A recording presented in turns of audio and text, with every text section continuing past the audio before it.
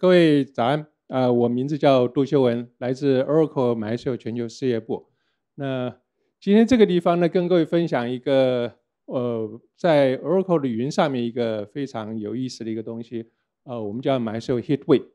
啊，那 MySQL HitWay 是什么东西呢？我知道我们很多人在用 MySQL，呃，甚至有很多人已经在用云端的 MySQL，比如说你用 AWS 啊，用呃用 Google 的等等这些云，像 Oracle 也有自己本身的云。而且 Oracle 在 Oracle 自己本身的云上面也推出了 MySQL，那那它在 My 它在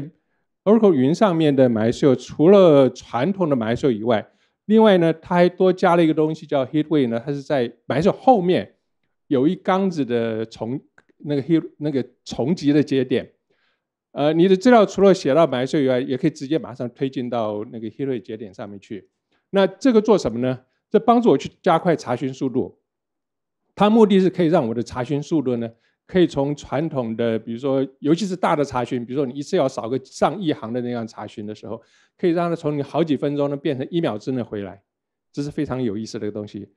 呃，它后面那些重集的运算数的能力非常好，非常大，所以它利用这个运算能力再加了上一些东西，这里面包含了它可以除了可以帮你做快速查询，比如说一般的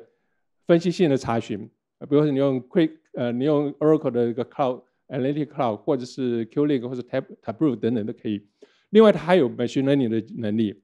它可以提供 Machine Learning 能力。它提供了超过，它提供了几个特定的一些 Store Procedure 去做 ML Train，就 Train 你的 Data，根据你的 Data Train 一个 Model 做预测。比如说你测做回归的预测，做分析、做分类的预测，就是可能说这个客户是不是我的客户，是不是值得。值得对他做做 promotion，那像这样的 machine learning 的这这个场景，它也可以做，所以它有一些 store procedure 在这上面啊。那另外还有很重要的就是，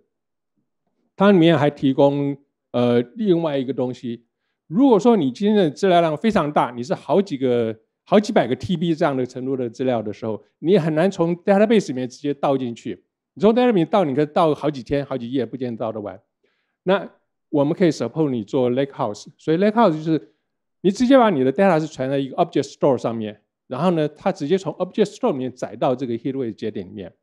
然后利用 HitWay 的快速查询能力呢，也就是说，你今天可以原来传统的这个你需要去载入 data 的那个部分呢，你不需要从 database 里面做，而是从 object storage，就是从你的呃，就像 Amazon 上面可能 S3 的 bucket 啊，或是你可以存在 OCI 上面，你可以直接个 data file，呃，几百个 TB 的这个 data file 你就载进去。很快的，可以在呃，在一两个小时，可能半个小时到一个小时之内，把这个上百个 TB 的资料载进去，你不需要等好几天。这是对你做做一些，比如说 IOT 啊，呃，或者做各种不同分这种工厂的数据的收集啊，车联网啊这些这些上面的应用的非常好用的工具。然后它利用 HitWay 的快速查询能力，也可以让你享受到原来你可能要花个